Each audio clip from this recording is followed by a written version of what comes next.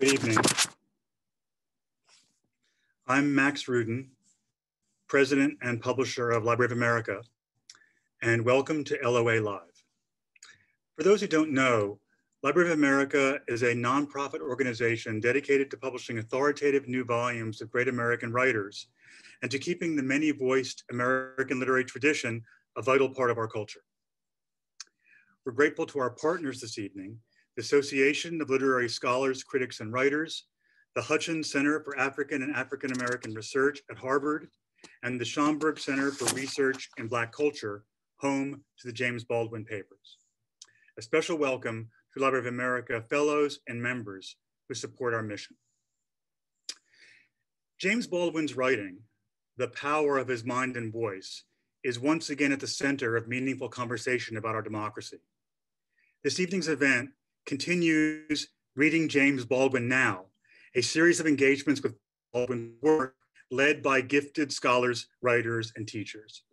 Our focus tonight is the 1974 novel, If Beale Street Could Talk, found in Library of America series volume number 272, Baldwin's later novels, edited by Darryl Pinckney, one of three LOA volumes collecting Baldwin's essays and fiction. We're fortunate to have as our guest this evening, Gabrielle Bellot, staff writer at LitHub and contributing editor at Catapult. Her essays have appeared in the New Yorker, the New York Times, the Atlantic, the Guardian, Guardian, Slate, and many other places, and widely anthologized, most recently in Indelible in the Hippocampus, writings from the Me Too movement. Uh, Gabby and I will chat for about 25 minutes or half hour and then invite your questions. You can submit a question or comment at any time using the Q&A button on your menu bar. Please let us know where you're viewing from. And now, please welcome Gabrielle Bellot. Hi, Gabby. Welcome, uh, and thank you again uh, for coming tonight. Of course. So uh, let's start off at the beginning. So it's 1974. Baldwin is writing and publishing If Beale Street Could Talk. Um, you know, where are we in Baldwin's life and career at this point? Sure. Well, I want to start just by uh, once again thanking everybody for being here tonight. I know there are lots of places virtually that we could all be. And I'm so happy that you're here with us to talk about Baldwin because, you know, arguably, who more important to talk about than Baldwin right now? You know, you know. But when we talk about if Beale Street could talk, you know, sort of placing this within Baldwin's career, I think there are a few interesting ways that we can sort of begin to understand the, the place of this curious novel. So Baldwin famously described this book as a strange novel, right, to his brother David.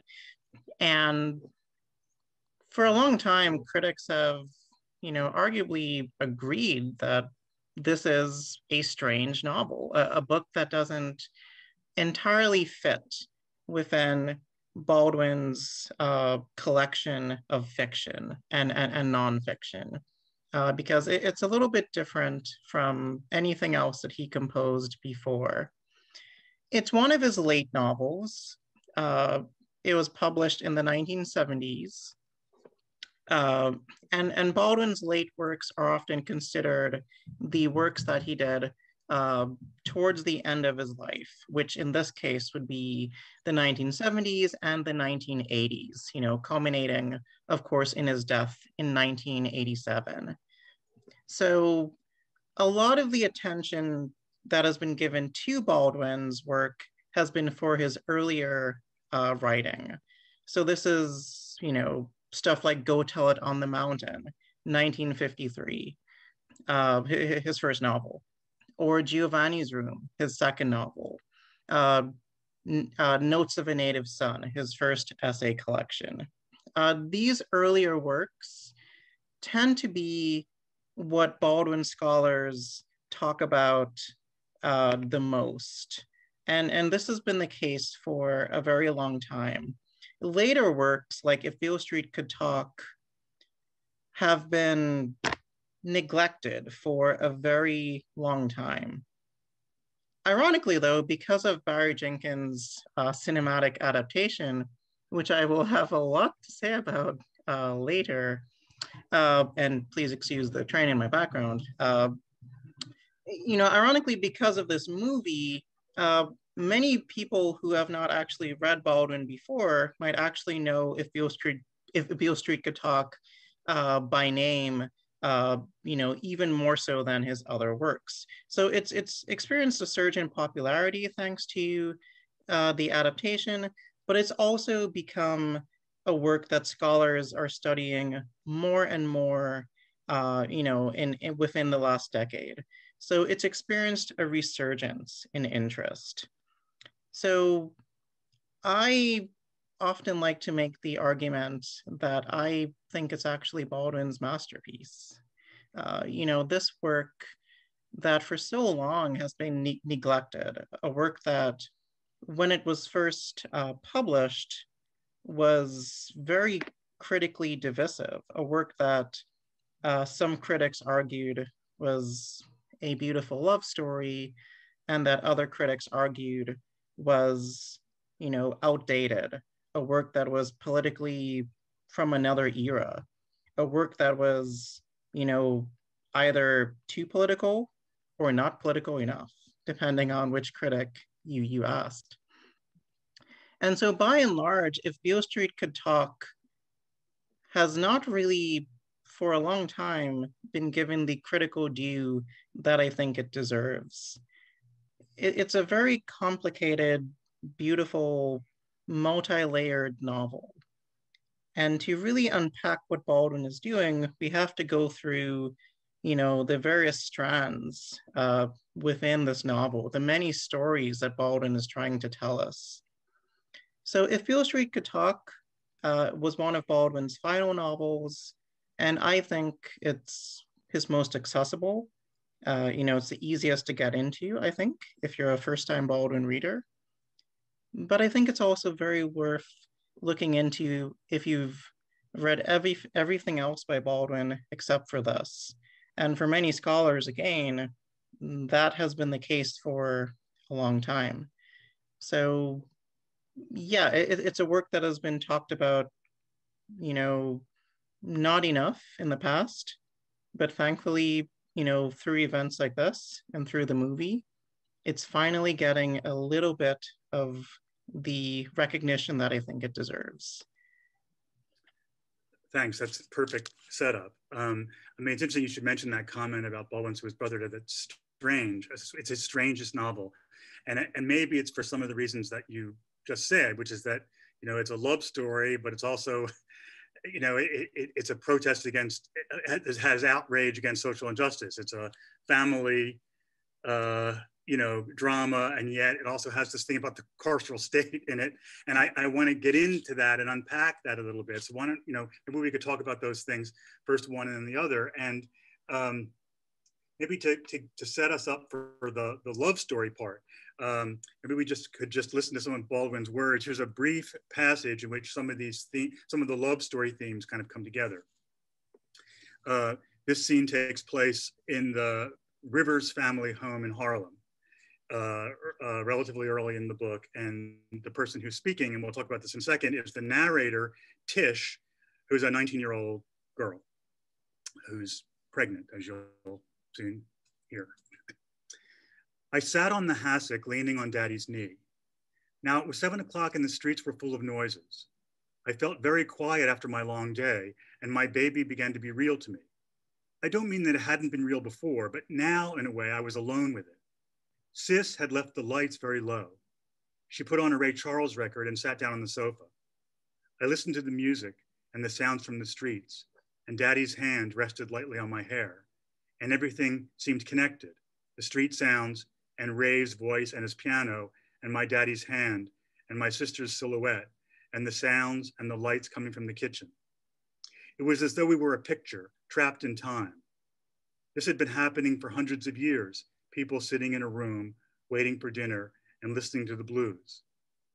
And it was as though out of these elements, this patience, my daddy's touch, the sounds of my mother in the kitchen, the way the light fell, the way the music continued beneath everything, the movement of Ernestine's head as she lit a cigarette, the movement of her hand as she dropped the match into the ashtray, the blurred human voices rising from the street out of this rage and a steady, somehow triumphant sorrow.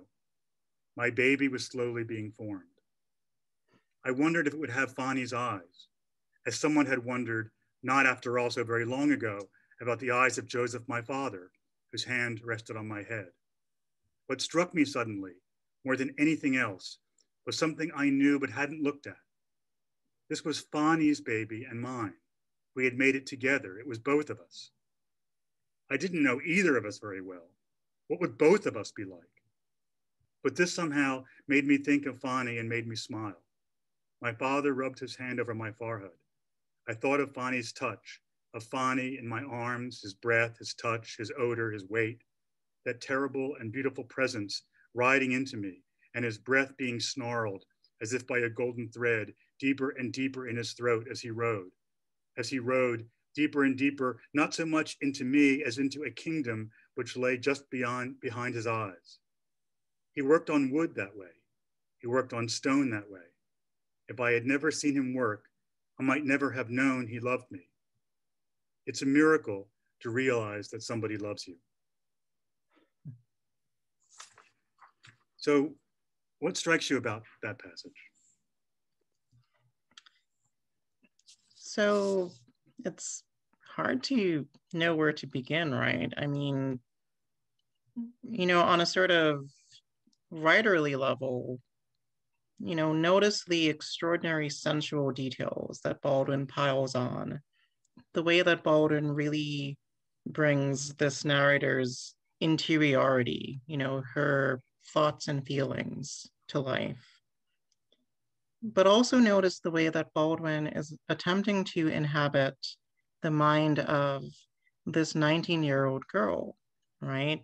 Who at this point in the novel is pregnant but is not just, you know, pregnant. She's wondering what that means. You know, she's never done this before. So there was a lot of tenderness in that passage, right? There, there was a lot of really trying to inhabit a space and a body that, you know, was not Baldwin's own, but that wasn't all necessarily that dissimilar to Baldwin's upbringing in some ways either and we, we can definitely talk more about Baldwin's upbringing uh, in a bit. But this is a great jumping off point to sort of talk about, you know, what this novel really is about and one of the reasons that Baldwin considered it so strange. So in this passage, you see uh, the main character, whose name is Tish, thinking about the baby that she's going to have with Fonny, uh, whose real name is Alonzo, but everyone calls him Fonny. When the novel begins, Fonny is in prison. Fonny is a person we only get to see behind glass when that when the novel opens, because Tish has gone to see him. At this point, when the book begins, we have no idea why Fonny is in prison and more importantly, no sense that he's going to leave. And this is intentional. Baldwin wants you to know from the very beginning that the carceral state, American prisons, are going to be a major part of this novel, but that is also going to be a novel that takes place uh, sort of to the degree that it's possible to tell a love story between, you know, somebody who's in prison and somebody who's outside. So what follows from here is sort of what led up to Fonny being imprisoned. And we jump back and forth between past and present. There's a lot of beautiful moving through time and space. But really, the prison is the place we always sort of circle back to because Fonny has been arrested for a crime that there's no evidence he actually committed. A narrative that for Baldwin and for many other writers of color is not that unfamiliar. It's just what we've come to expect. So Fonny, uh, you know, is put into prison for supposedly having assaulted a Puerto Rican woman, which we learn much later in the novel.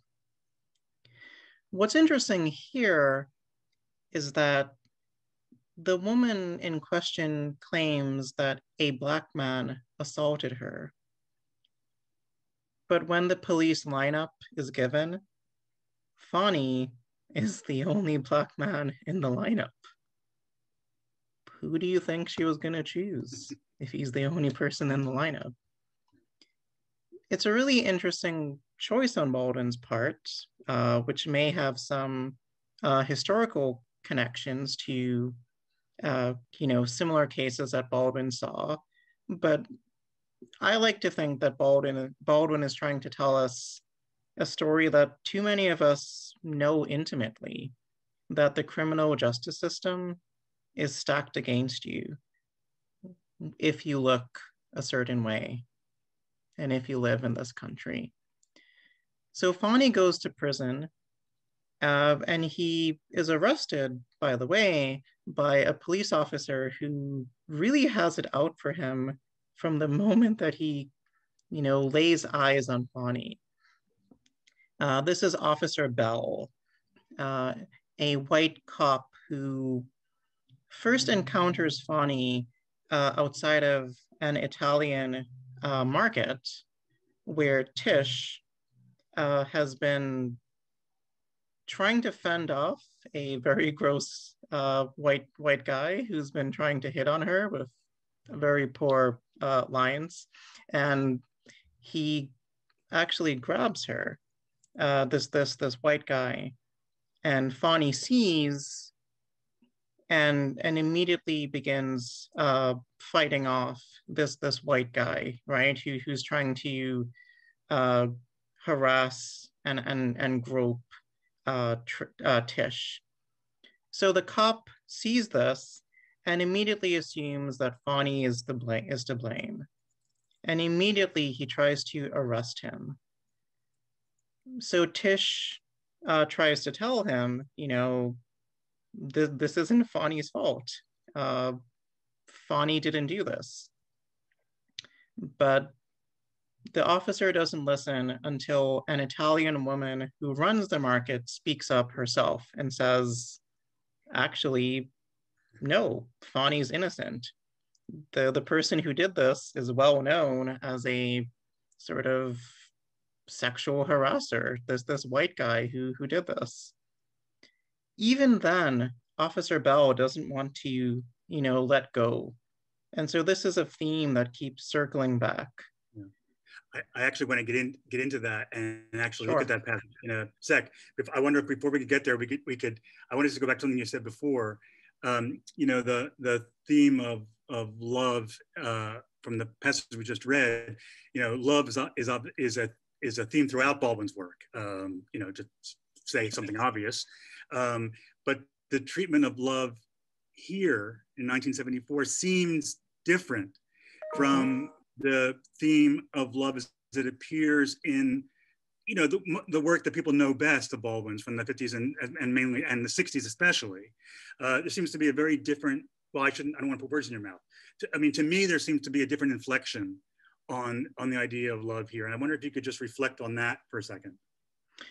Sure, sure. So, if if Beale Street Could Talk is really interesting uh, for that reason that, you know, aside from the stuff I was talking about before with, you know, uh, a, black man being in prison for a crime he did not commit and all of this, you know, aside from that, it's also a very tender love story, right?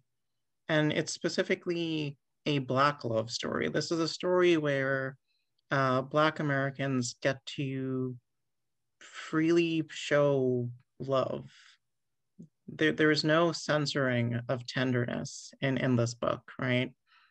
And you see a little bit of that in the passage that, that you read, Max, um, and in many others, you know, when Tish and Fonny, uh, before Fonny is arrested, uh, get to be together. So in Baldwin's work uh, before this, you know, th- there's definitely, you know, allusions to uh, all kinds of love. Uh, most famously in Giovanni's Room, for instance, uh, you know, which was written from the perspective, interestingly, of a white European, or sorry, a white American uh, in Europe. Uh, you know, there Baldwin explores queer relationships, right? What's interesting in Giovanni's Room, though, is that this is a book where the narrator, uh, David, is unable to get over his own sense of self loathing. He's a queer character who's deeply in the closet and he hates himself for that. He, he, he doesn't know who he is or what to do with that. Baldwin himself was also queer and for many years, you know, Baldwin attempted to write about this in various ways. But in Giovanni's room, you know, even though th- there there is a love story in there, it's a love story that is tempered by self-loathing. Uh, it's a love story that is tempered by, you know, an inability to fully commit to another person, right? If Beale Street could talk is very different because Tish and Fonny are so clearly in love with each other. There's no question. And Baldwin captures this really beautifully, right? So, this is a novel where characters in love get to actually be in love. And Baldwin doesn't shy away from, you know, all of the sort of minor and major details that capture that. So small things like Fonny grabbing Tish's hand and saying hello, you know, which is the kind of thing a, a couple might do when you know each other very well. Uh, the way that they touch each other, the way that they make small talk with each other, then the sort of nicknames that they have for each other. Um, it's a book that is sort of unabashedly romantic. Yeah. So even though there's much more going on, um, if Beale Street Could Talk is unquestionably a love story, sort of at core, right? And I'm sorry, Max, I didn't mean to, to cut no, you off no, there. I, I, no, I was no, that's very good what you said. And um, I was thinking that in the essays of the '60s, love is also come a force that is going that Baldwin sees as kind of a utopian force that's going to kind of uh, you know address some of America's you know racial issues. And it seems like here it, it's not that. I mean, as you say, this is this is a, a black love story, and it's quite it's quite a different perspective. Um, I just wanted to pull a couple threads out from uh, to ask you about also before we go to the other the other large subject in, in the book. Um, you know, this is Baldwin's only novel told from a female uh, point of view. Um, and I'm curious, and you know what you think about that. I mean, and maybe there's not a lot to say about it that you haven't already said. But I mean, do, do you did it give Baldwin access to certain things, or what? I guess the question is, what did have what? It, what's about what's that choice all about? Like what sure. you know, he makes a choice to tell a story through the eyes of a 19 year old girl.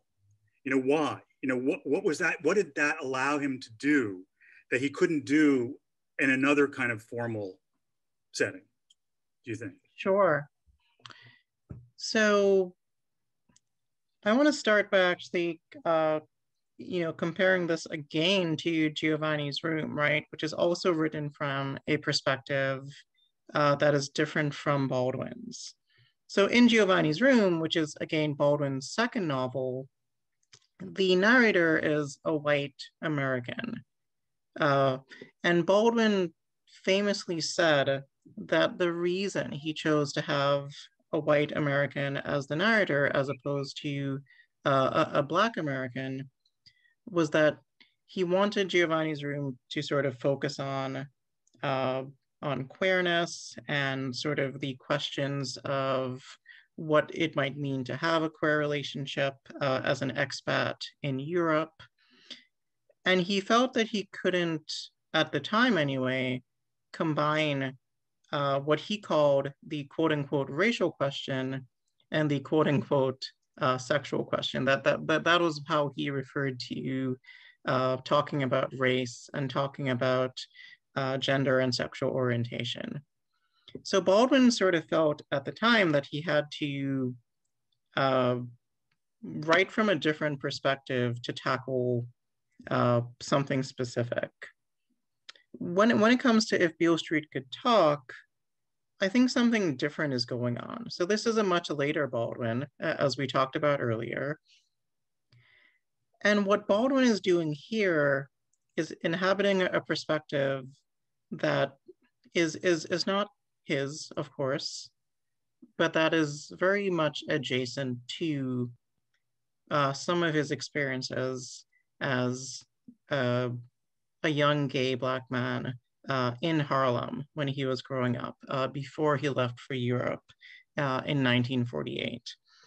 And, and, and also, of course, uh, he's trying to see what he can uncover about uh, gender by inhabiting a female perspective.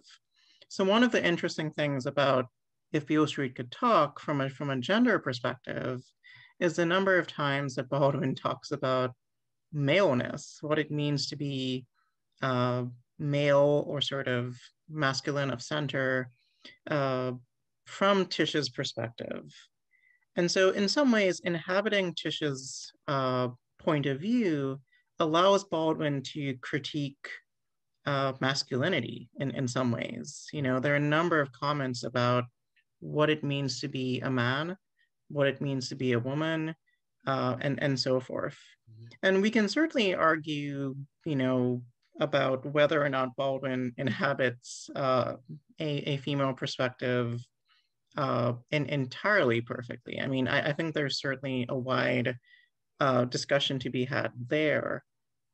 But I think it lets Baldwin access, you know, a sort of critique of himself in some ways, a, a critique of uh, what it means to be a male, hmm. uh, a critique of, uh, in some ways, what we would call toxic masculinity today. Hmm. Um, it, it also makes me think, as a sort of final point here, of Baldwin's uh, famous talk with Audre Lorde, uh, where Lorde famously took him to task a little bit for not fully being willing to, in, in her mind, uh, acknowledge his maleness when he talked about uh, what America needed to do uh, to sort of attempt to overcome uh, the racial hurdles that, that existed at the time that they were speaking. Uh, so Lorde felt that Baldwin didn't always acknowledge these special struggles that you go through as a Black woman. And Baldwin eventually came around to this, sort of acknowledging that there were things he might not have been uh, entirely aware of when he was, uh, you know, talking about what needed to be done. And so if Beale Street could, could talk feels to me sort of like a response to uh, that kind of discourse, right? Baldwin's attempt to see himself through uh, another's eyes, if that if that makes sense. And that's really interesting. I mean, there are there are many other strands in that passage I would love to talk to you about. I mean, one is the idea of the the baby. I mean, the book is structured as the birth of a baby. And that's that's basically the plot. You know, it's and you know, two years before in No Name in the Street, uh, the book starts with Baldwin talking about babies as miracles and you know fragile miracles, and that's clearly a theme here too. The idea, I mean, the two sides of the story are the beautiful birth of this miraculous thing and the world into which this miraculous thing is is being placed and has to make its its way. And I mean that you know then and that's one way to describe what the book is. And No Name in the Street is that too. I, and I, they're both struggling against form in interesting ways. But I mean, there's there's that. There's the question of parenthood. I mean, this is a book where, you know, one woman says to another in a climactic scene, you know, I'm a mother too. And being a mother and being a parent and the terrible responsibility of bringing these creatures into this world, you know, is also a theme. But we, you know, we don't have enough time. I, I, I do want to get. And, I mean, you're welcome to comment on any of that. I also want to talk about the music in the scene, and I we will talk about that in a, in a bit.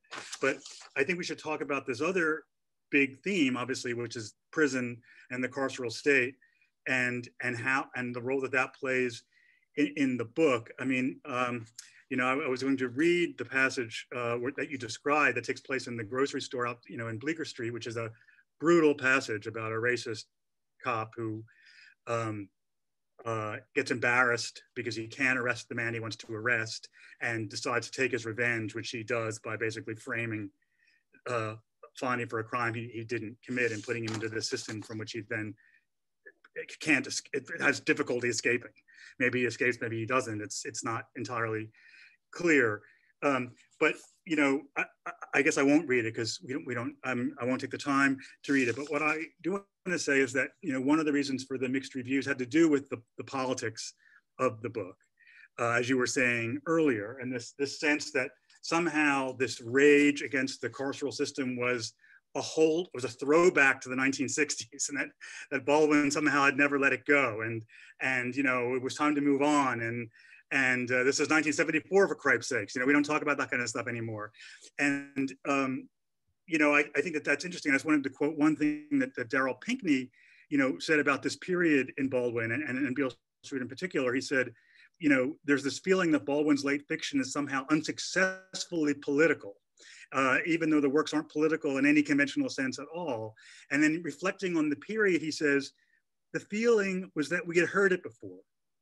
As far back as the summer of 68, mere months after Martin Luther King's assassination, Norman Mailer said he was tired of Black people, quote, and their rights, end quote.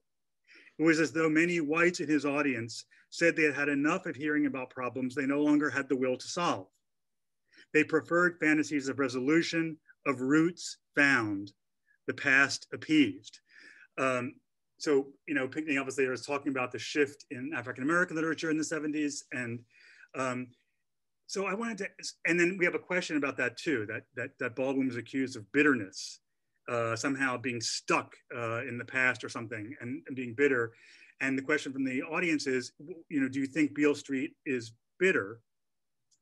And I guess the other question is about this theme in the book is from our current perspective, you know, from the perspective of the last year, uh, let's say, uh, although we could, you know, with Baldwin stuck in the past or was he actually more forward looking than anybody knew at the time? If that's the right way to frame the question.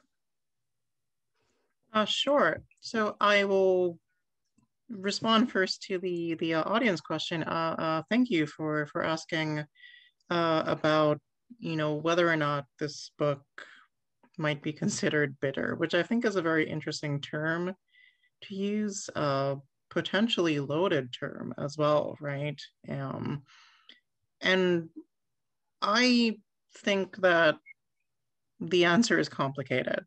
That for the most part, I take this as a very tender book. You know, that, that that's a word I've used a number of times tonight, and it's because it feels so true to the tone of the book that there is a lot of love, like very deeply embedded into the core uh, of this book. But if you read the book carefully, you will see a number of, you know, very volcanic, really, condemnations of uh, America as a country, you know, as a whole. Uh, many times, you know, Tish sort of taking on a voice that sounds more like Baldwin's than her own, will say that America is the kind of country that nobody should be unfortunate enough to have been born in, that America is a country that should never have been quote unquote discovered. Uh, um, and she, you know, reflects in a, in a tone that I think could be termed bitter, you know, on what it means to live in such an unfair, unjust country.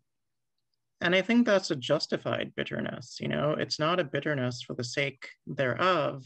It's a bitterness that Tish and, and Baldwin have learned, right? That this is simply a reaction to living in a country that is profoundly not equal, profoundly not going to give people a, a fair shot. So if it feels bitter in those moments, I think it's supposed to, right? And, and so sort of going from there into the question of the politics of the book, right? You know, this is one of the works of Baldwin that tends to be read, you know, less politically than his earlier work.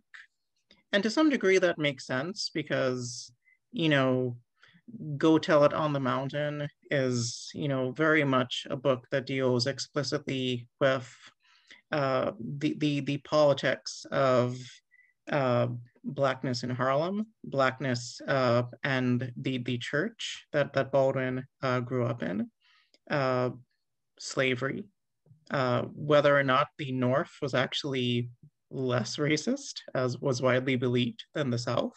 And Baldwin's answer by the way, is always no. That the, the North, uh, places like New York, are never actually less racist uh, for the characters who actually live there. So uh, a work like Beale Street, you know, that is a love story sort of at core, might not seem as overtly political as those those earlier works.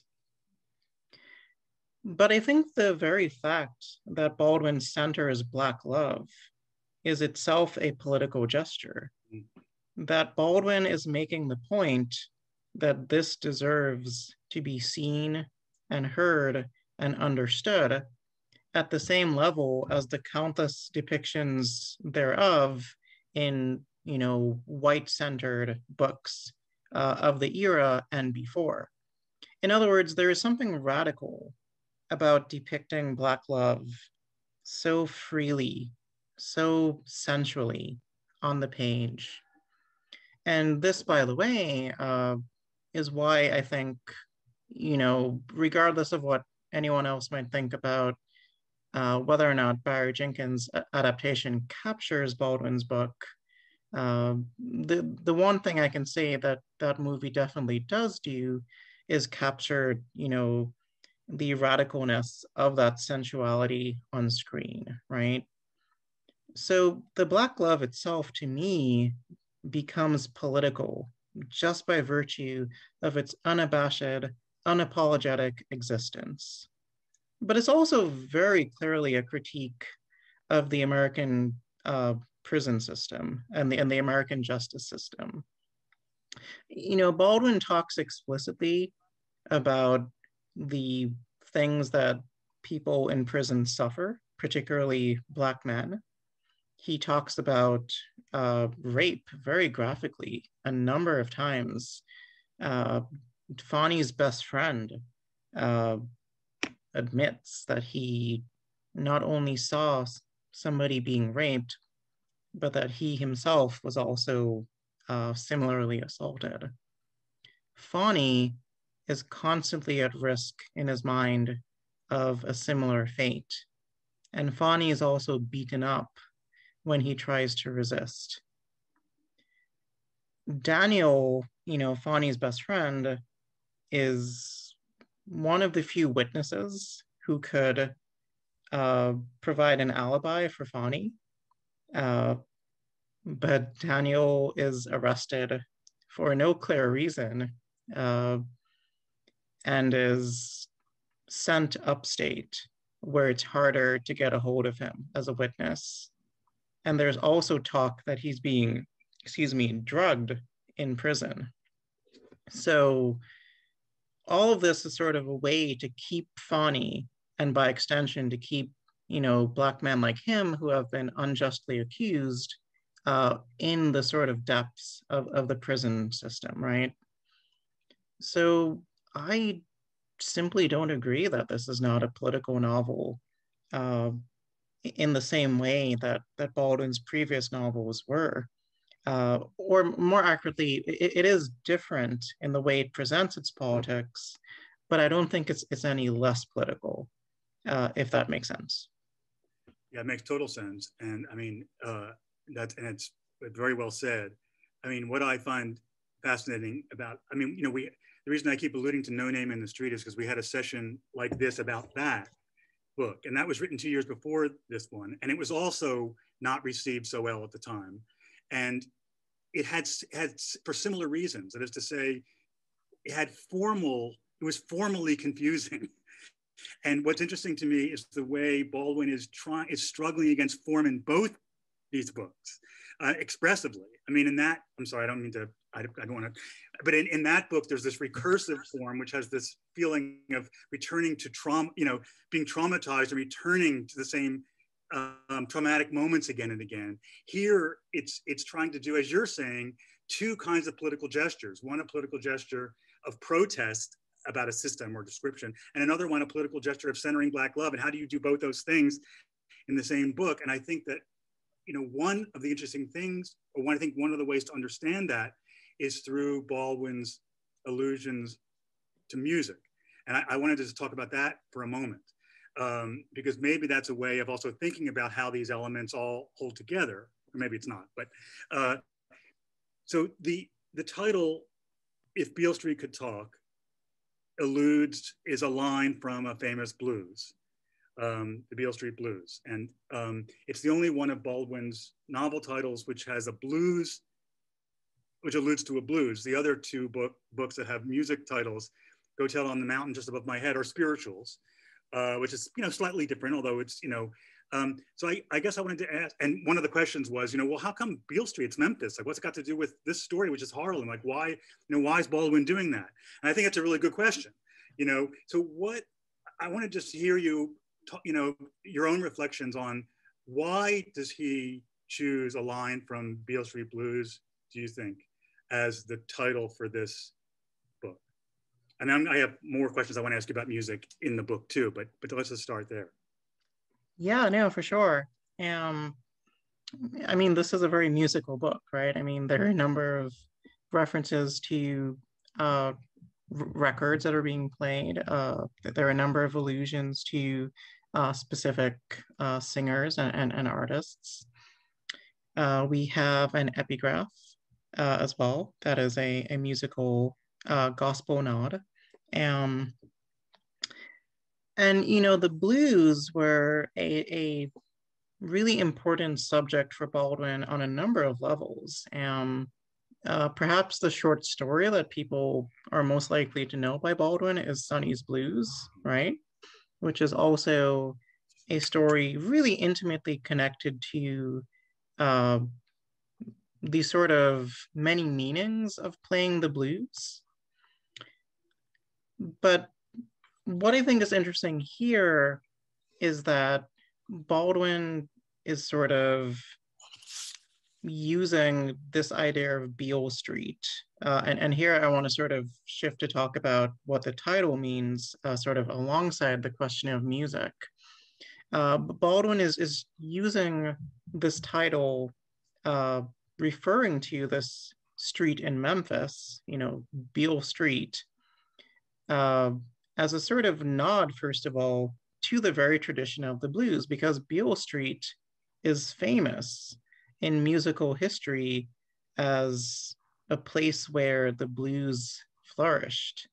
You know, so many, uh, so many of the legends who are known as uh, you know, you know, singers and players of, of the blues played at Beale Street.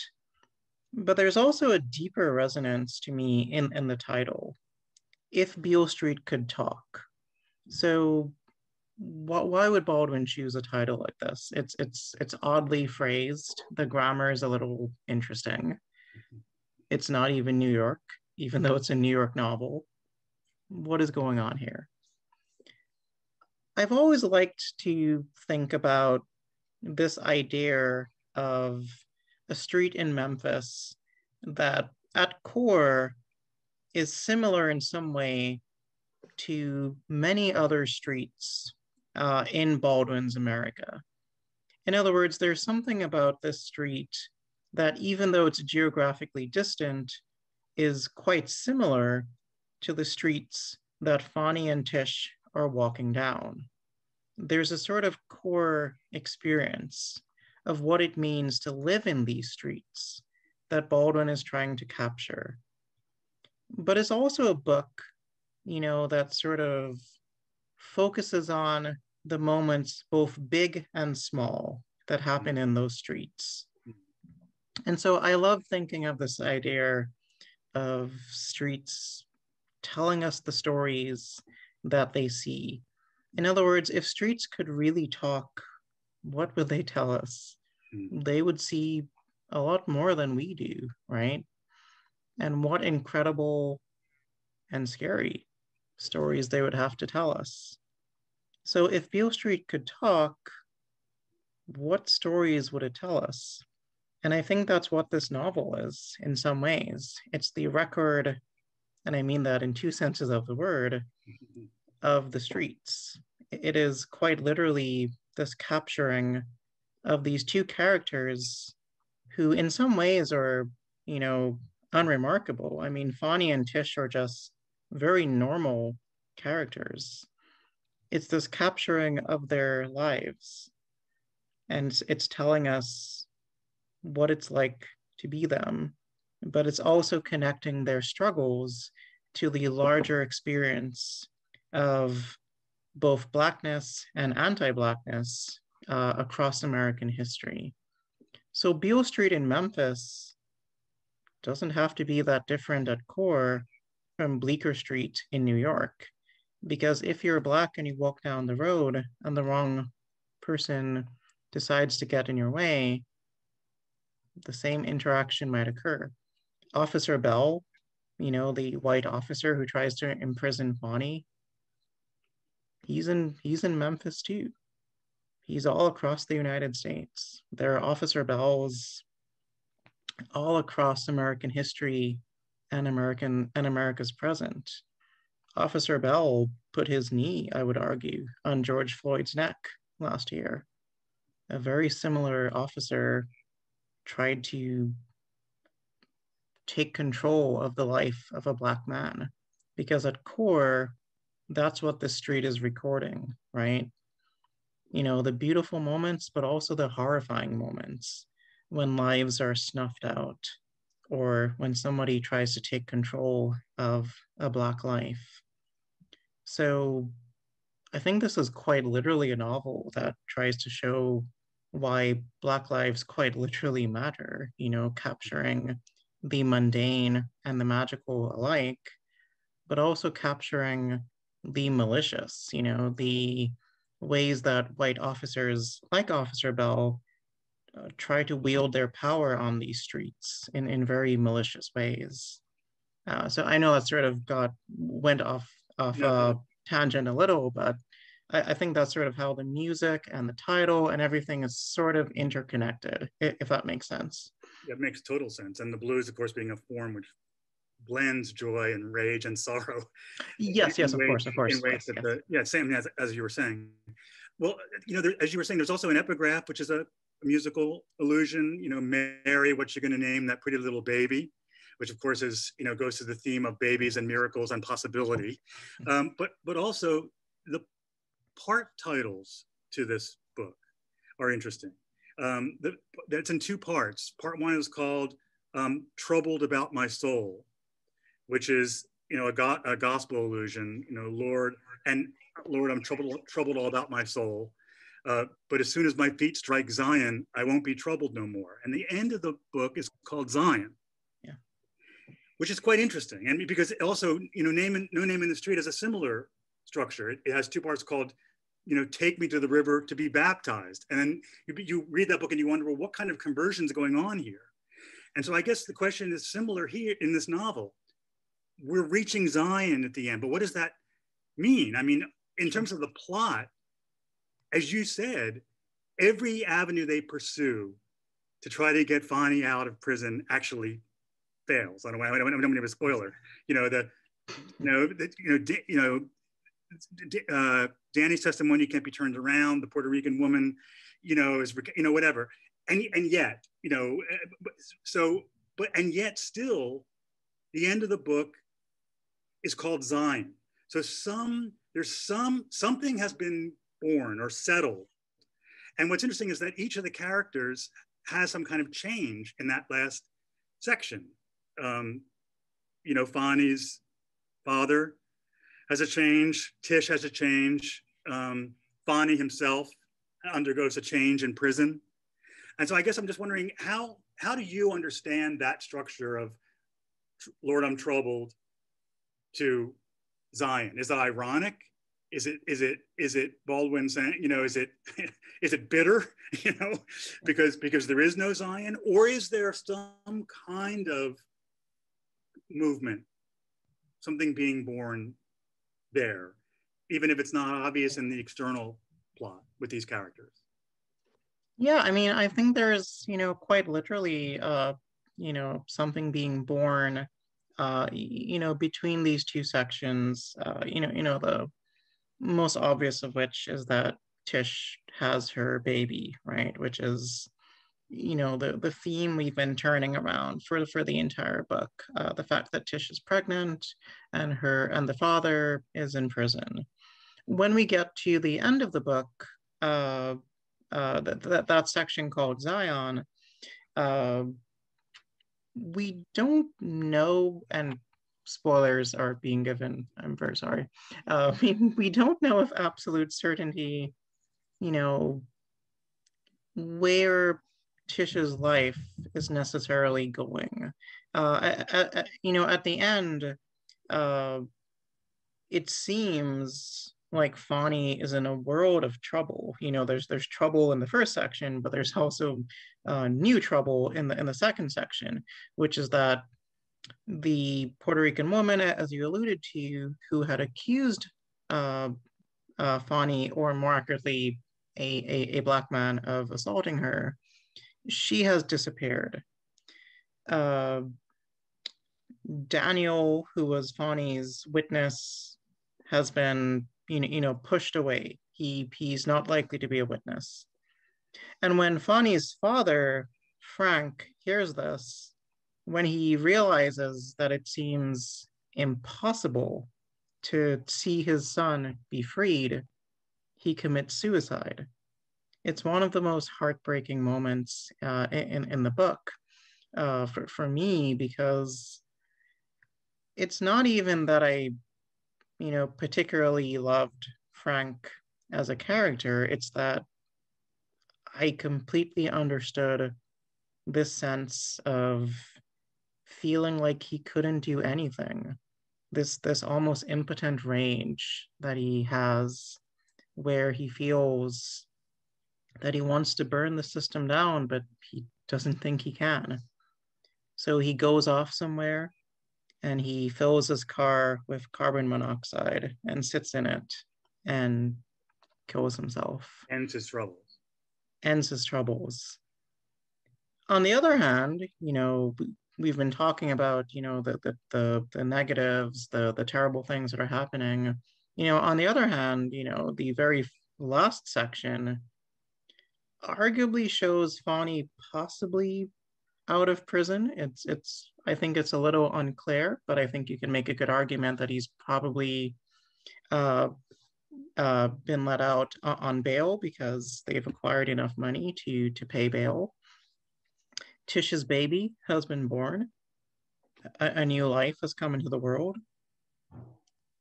But with that, there is the final sentence of the story, which beautifully and hauntingly mixes these threads that we've been talking about. So the final line of the book, uh, and, and I'm paraphrasing from memory, is that the baby uh, wails loud enough to wake the dead. Uh, it cries and cries and cries and cries. Uh, this is repeated a number of times, loud enough to wake the dead. So the dead, you know, that phrase is how we end this novel with, uh, even though it's a new life being brought into the world. So life and death are, are sort of fused together in this finale. And it's very interesting because here we have an ending that Tish arguably has been hoping for the entire book. Fonny may be free, her baby may be born, but the but the reference to the dead suggests that this baby is being born into a world where death is always going to be nearby. The possibility of death is always hauntingly close. This is a black baby, and it ha- and very soon, Fonny and Tish will have to teach their child what that means.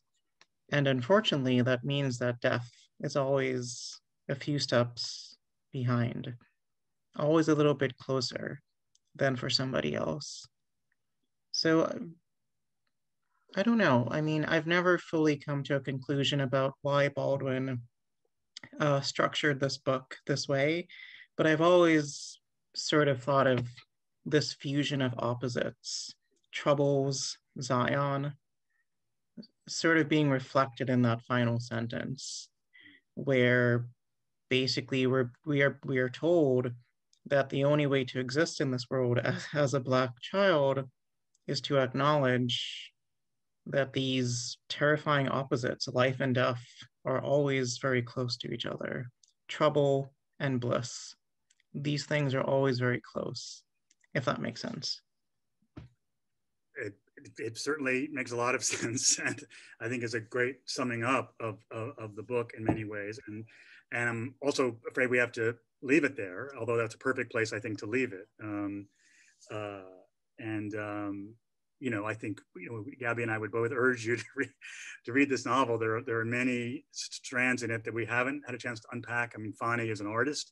Uh, yes, of and, course. Uh, there's, you know, um, Baldwin's reflecting on, on on that in the book too, which is a whole other area. But um, but uh, no, but Gabby, you really you really opened up the book for us today, and I thank you for that. Um, so you've been listening to Gabrielle Bellot discuss James Baldwin's novel If Beale Street Could Talk, published by Library of America in James Baldwin's later novels, uh, edited by Darryl Pinckney. I hope you'll join us for forthcoming online events from Library of America. On March 18th, it's Women's Liberation, Feminist Writings That Inspired a Movement and Still Can, uh, a conversation with Alix Kates Shulman, Margo Jefferson, Barbara Smith, Jennifer Baumgardner, and moderated by Honor Moore. And they'll be discussing, you know, what the women's liberation movement was and what it means for us now. Details about this and other upcoming LOA live events can be found on our website, loa.org, where you'll also find information about Library of America's James Baldwin edition and Women's Liberation Collection and links to purchase those and other volumes of Great American Writing. You'll also find recordings of tonight's and previous LOA live events. Thank you so much to Gabby Bellot again, and thank you all for coming and have a great evening.